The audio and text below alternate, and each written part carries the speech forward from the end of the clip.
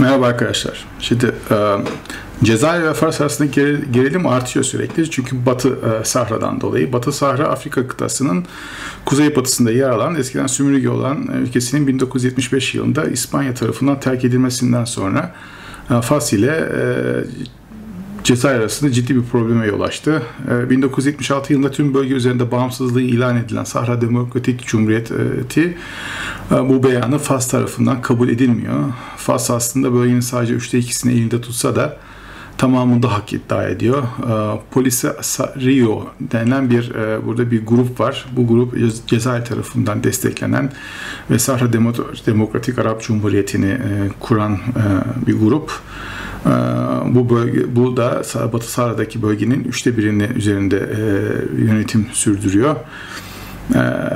Şimdi 13 Temmuz tarihi 2021'de Cezayir Rabat Büyükelçisini geriye konsolidasyon nedeniyle çağırdı. Asıl neden ise Fas temsilcisinin Kuzey Cezayir'deki etnik Berberileri de aynı Batı Sahra'ya benzer bir şekilde iddialarının olduğunu ama kendi kaderinin Cezayir tarafından uygulanan baskılar nedeniyle tayin edemediklerini söyledi.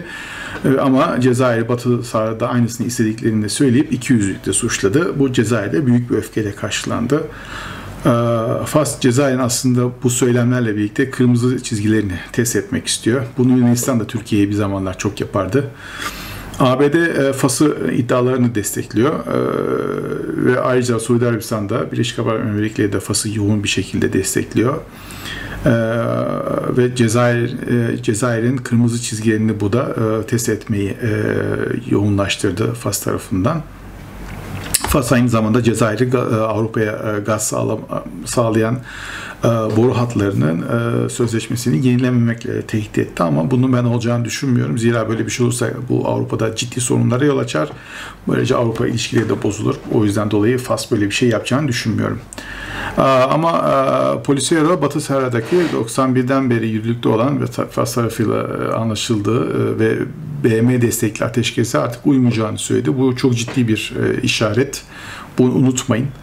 Çünkü bu aynı zamanda Batı Sahra'da ne kadar halkın bu konu hakkında hayal kırıklığına uğradığının bir göstergesi ve güç kullanmaya da istekli olduklarını belirtiyorlar. Bu da tekrardan olayların olabileceğini hatta Cezayir'le e, Fas ordularında karşılıklı e, karşı karşıya gelebileceğini gösteriyor bize.